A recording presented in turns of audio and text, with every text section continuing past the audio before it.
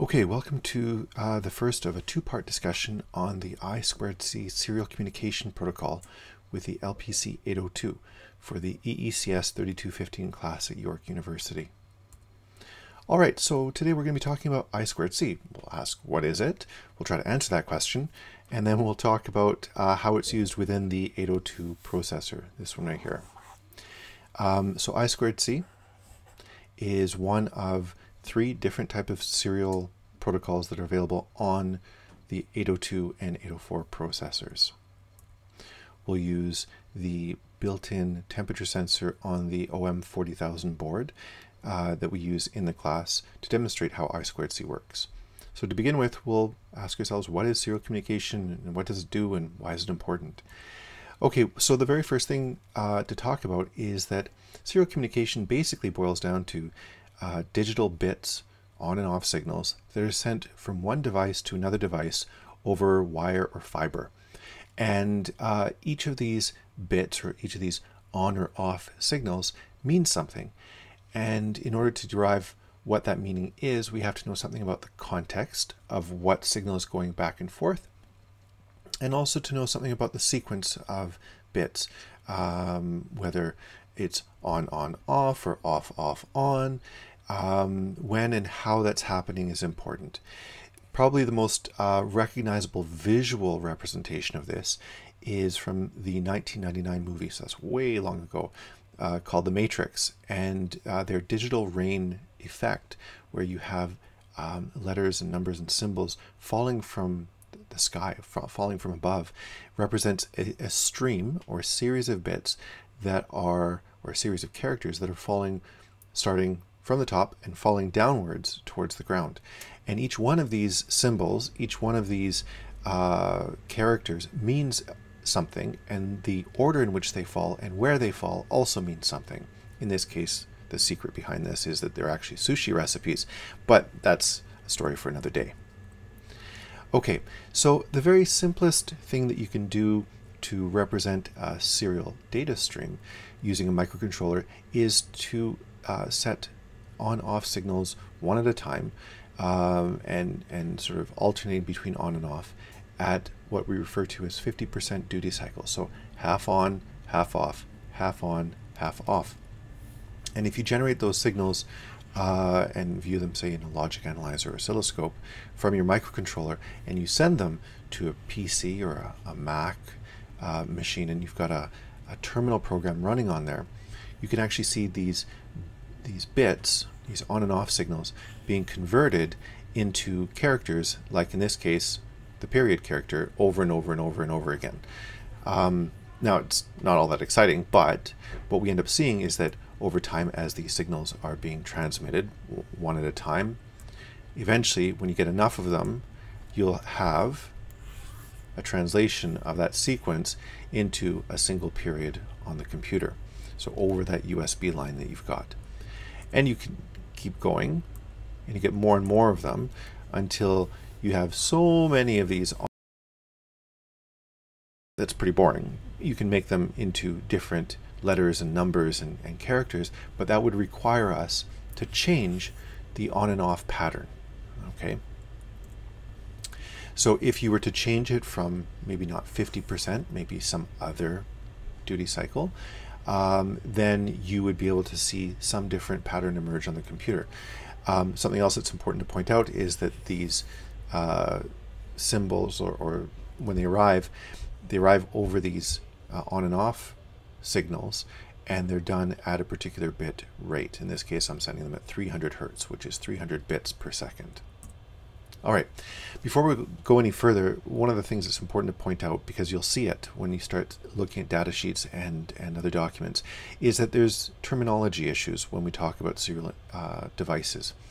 And what's important to point out straight off the bat is that uh, when we talk about serial communications between one device and another device, it's really boiling down to coordination between these two different devices. If you don't coordinate properly, communication doesn't happen. The problem is that uh, the way that some of this terminology is done, it comes across as domination rather than coordination, and I'll explain why. So it's important to point out that when we have these serial devices, we generally have one device that is transmitting and another device that is receiving. These two devices share the coordination of a wire, a set of wires, and that coordination really is important. Um, sometimes one of the two devices or multiple devices controls those wires to be able to send out information um, at a particular schedule or in a particular order. Sometimes it's another device that finds itself on that wire that's controlling it. Neither of these devices is superior to the other. They're just coordinating with one another.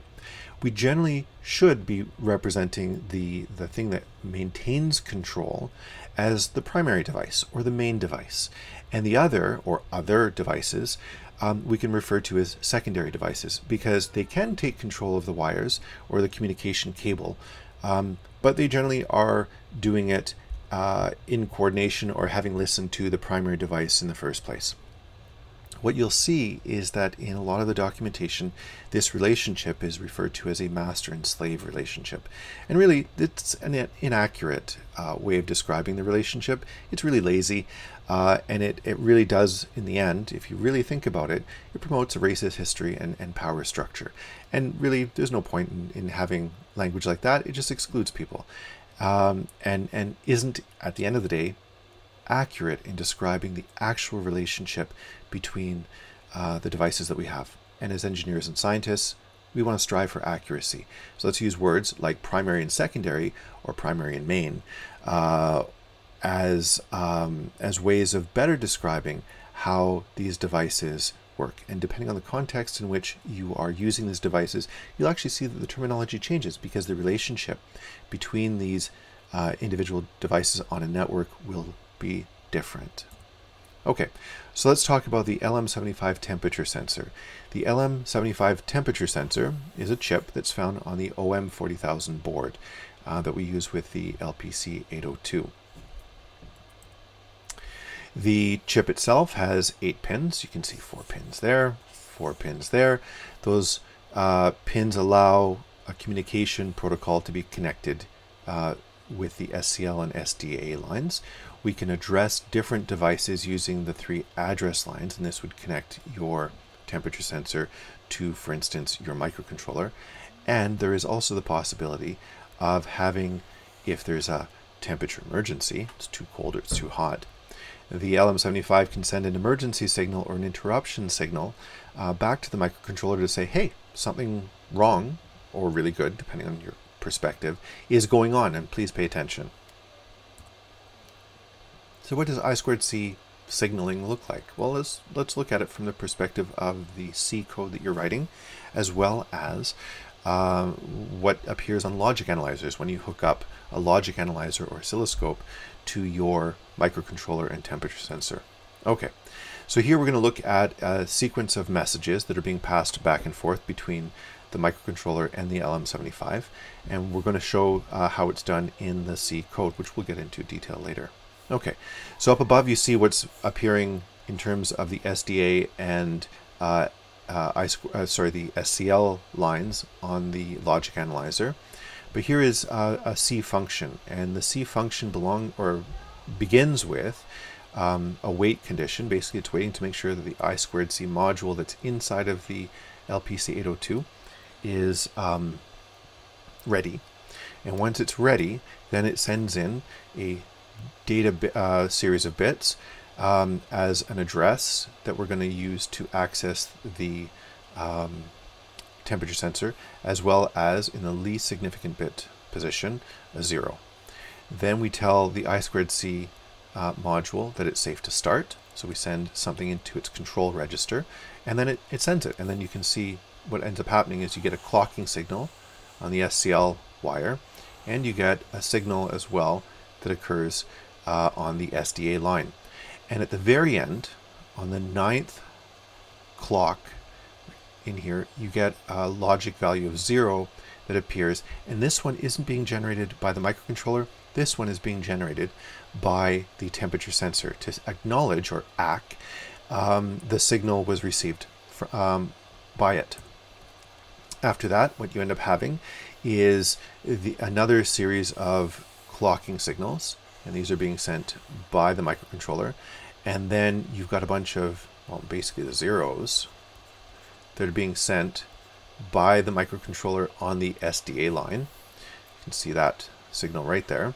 And they get sent as soon as the control register in the I2C module receives a continue uh, command. And that's what this mask right here is. Okay. Okay. Next up, what you end up having is uh, another signal that's sent from the microcontroller to the temperature sensor. And this signal is basically the address, once again, of the temperature sensor, followed by bit 1.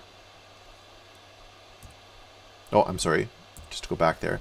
And then temperature sensor as a 0. Uh, and this is, once again, the acknowledgement that it has received its address and that is valid. After that, the uh, microcontroller um, is supposed to listen to uh, data that is coming from the sensor to the microcontroller. And so the microcontroller will continue to end up clocking the uh, SCL line, but it is listening to the temperature sensor on its data line. So the, the, the temperature sensor that's creating this signal right here.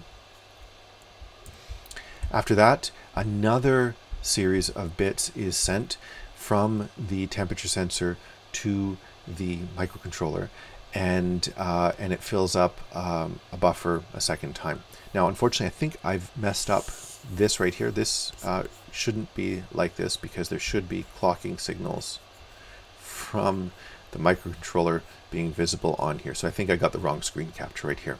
But basically what you would get up here at the top is clocking signals from the microcontroller and down below you would get a series of bits from the temperature sensor. So when you have these two separate transmissions from the temperature sensor back to the microcontroller, it fills up two buffers that are found in an array. So two different cells in the array can think of, and they're both 8-bit uh, cells in that array. And they will contain two uh, pieces of information that will end up being combined by our C program to be representative of temperature. Okay. Um, so how, how does all of this work basically? Well, um, what we do is uh, on the board, we take the chip, we connect it to the microcontroller via um, a pair of um, pull-up resistors. The address lines are tied specifically using um, some resistors and either ground or the 3.3 uh, logic or logic power. Um, the uh, interruption pin is not connected um, and the signals will be sent either as uh, clocking signals from the microcontroller to the temperature sensor or there'll be the back and forth signals from the uh, microcontroller or from the temperature sensor. Now, it's important to point out once again, just to reiterate, that there are pull-up resistors on the temperature sensor.